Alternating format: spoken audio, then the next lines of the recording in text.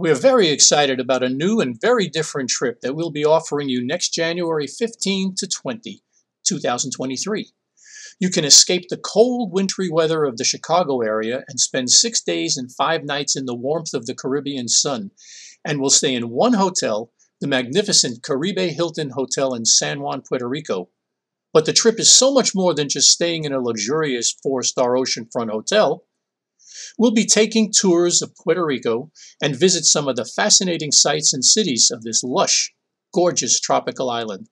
We'll tour Old San Juan, seeing its pastel-colored homes and buildings, and enjoy delicious included meals in some of its finest restaurants during your stay.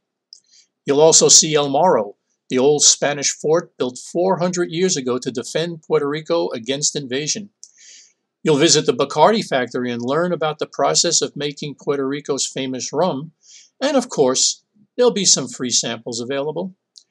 And one thing you're sure to love, in addition to the warmth and sun, are the absolutely gorgeous sunsets. One day during the trip, we'll drive to and tour the historical 17th century city of Ponce.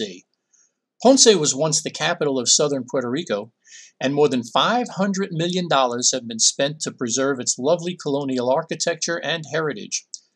The scenic drive takes us through some of the lovely countryside of Puerto Rico as we learn more about the history of this fabulous island. On another day, we'll visit El Yunque, this is Puerto Rico's famous rainforest, and we'll enjoy seeing its lush foliage and incredible beauty. Before returning to our hotel, we'll enjoy an absolutely delightful and scenic sunset cruise.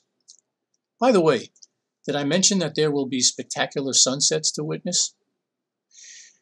And you know, you'll have ample leisure time to relax in the warmth of the Caribe Hilton's lovely landscape grounds, enjoy its pool, its sheltered beach, and Paseo Caribe, Puerto Rico's newest and most unique shopping, entertainment, and dining complex, which is located only steps away from your hotel.